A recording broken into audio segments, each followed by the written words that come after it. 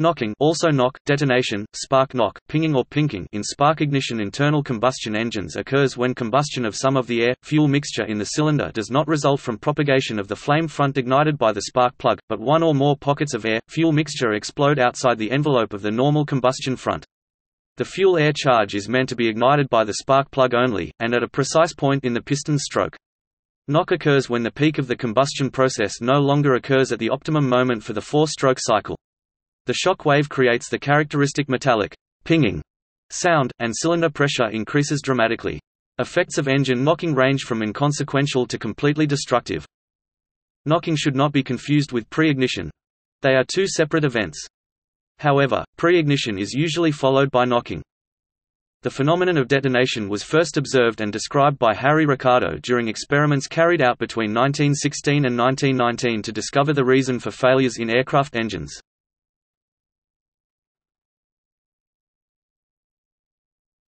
Topic: Normal combustion. Under ideal conditions the common internal combustion engine burns the fuel-air mixture in the cylinder in an orderly and controlled fashion. The combustion is started by the spark plug some 10 to 40 crankshaft degrees prior to top dead center (TDC), depending on many factors including engine speed and load. This ignition advance allows time for the combustion process to develop peak pressure at the ideal time for maximum recovery of work from the expanding gases. The spark across the spark plug's electrodes forms a small kernel of flame approximately the size of the spark plug gap.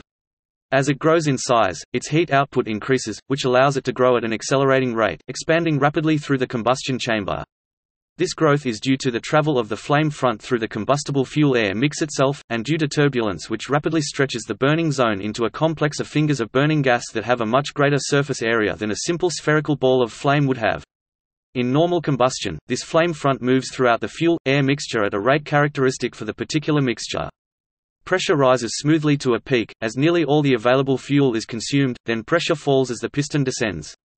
Maximum cylinder pressure is achieved a few crankshaft degrees after the piston passes TDC, so that the force applied on the piston from the increasing pressure applied to the top surface of the piston can give its hardest push precisely when the piston's speed and mechanical advantage on the crankshaft gives the best recovery of force from the expanding gases, thus maximizing torque transferred to the crankshaft.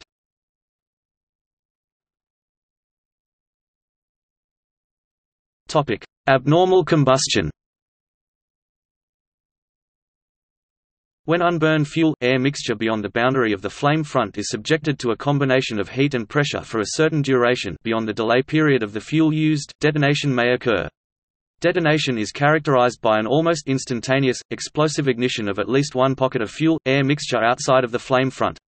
A local shockwave is created around each pocket and the cylinder pressure will rise sharply, and possibly beyond its design limits causing damage. If detonation is allowed to persist under extreme conditions or over many engine cycles, engine parts can be damaged or destroyed. The simplest deleterious effects are typically particle wear caused by moderate knocking, which may further ensue through the engine's oil system and cause wear on other parts before being trapped by the oil filter. Such wear gives the appearance of erosion, abrasion, or a sandblasted look, similar to the damage caused by hydraulic cavitation. Severe knocking can lead to catastrophic failure in the form of physical holes melted and pushed through the piston or cylinder head i.e., rupture of the combustion chamber, either of which depressurizes the affected cylinder and introduces large metal fragments, fuel, and combustion products into the oil system.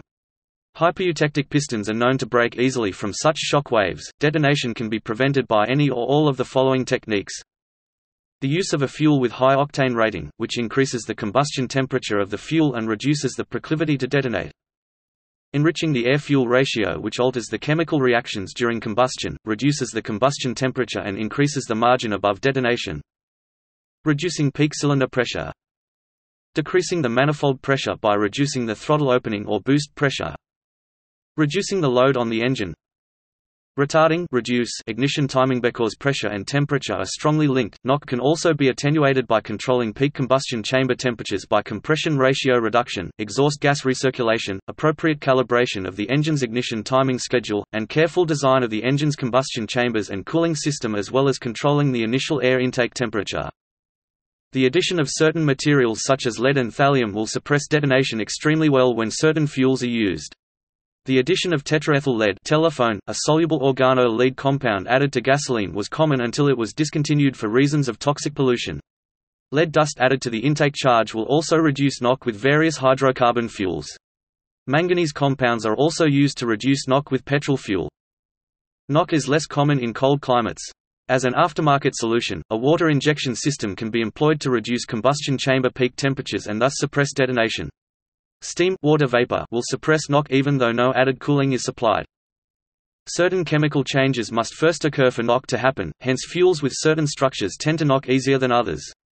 Branched chain paraffins tend to resist knock while straight chain paraffins knock easily. It has been theorized that lead, steam, and the like interfere with some of the various oxidative changes that occur during combustion and hence the reduction in knock. Turbulence, as stated, has very important effect on knock. Engines with good turbulence tend to knock less than engines with poor turbulence. Turbulence occurs not only while the engine is inhaling but also when the mixture is compressed and burned. Many pistons are designed to use squish turbulence to violently mix the air and fuel together as they are ignited and burned, which reduces knock greatly by speeding up burning and cooling the unburnt mixture. One example of this is all modern side valve or flathead engines. A considerable portion of the head space is made to come in close proximity of the piston crown, making for much turbulence near TDC. In the early days of side valve heads this was not done and a much lower compression ratio had to be used for any given fuel. Also such engines were sensitive to ignition advance and had less power. Knocking is more or less unavoidable in diesel engines, where fuel is injected into highly compressed air towards the end of the compression stroke. There is a short lag between the fuel being injected and combustion starting. By this time there is already a quantity of fuel in the combustion chamber which will ignite first in areas of greater oxygen density prior to the combustion of the complete charge. This sudden increase in pressure and temperature causes the distinctive diesel knock or clatter, some of which must be allowed for in the engine design. Careful design of the injector pump, fuel injector, combustion chamber, piston crown and cylinder head can reduce knocking greatly, and modern engines using electronic common rail injection have very low levels of knock. Engines using indirect injection generally have lower levels of knock than direct injection engine, due to the greater dispersal of oxygen in the combustion chamber and lower injection pressures providing a more complete mixing of fuel and air. Diesels actually do not suffer exactly the same knock as gasoline engines since the cause is known to be only the very fast rate of pressure rise, not unstable combustion. Diesel fuels are actually very prone to knock in gasoline engines but in the diesel engine there is no time for knock to occur because the fuel is only oxidized during the expansion cycle.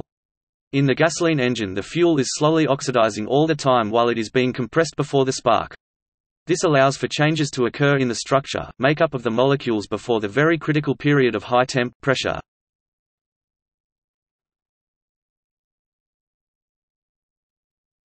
Knock detection. Due to the large variation in fuel quality, a large number of engines now contain mechanisms to detect knocking and adjust timing or boost pressure accordingly in order to offer improved performance on high-octane fuels while reducing the risk of engine damage caused by knock while running on low-octane fuels. An early example of this is in turbocharged Saab-H engines, where a system called automatic performance control was used to reduce boost pressure if it caused the engine to knock. Various monitoring devices are commonly utilized by tuners as a method of seeing and listening to the engine in order to ascertain if a tuned vehicle is safe under load or used to retune a vehicle safely.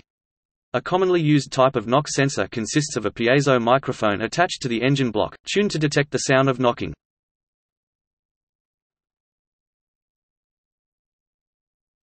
Topic: Knock prediction.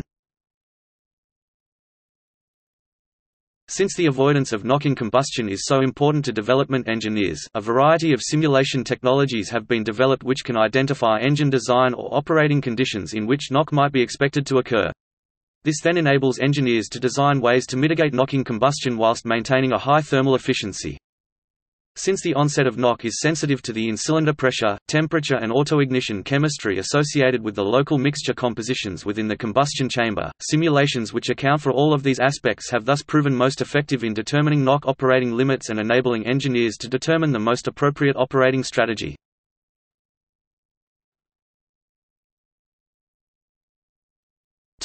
Knock control The objective of knock control strategies is to attempt to optimize the trade-off between protecting the engine from damaging knock events and maximizing the engine's output torque. Knock events are an independent random process. It is impossible to design knock controllers in a deterministic platform. A single time history simulation or experiment of knock control methods are not able to provide a repeatable measurement of controllers' performance because of the random nature of arriving knock events. Therefore, the desired trade-off must be done in a stochastic framework which could provide a suitable environment for designing and evaluating different knock control strategies' performances with rigorous statistical properties.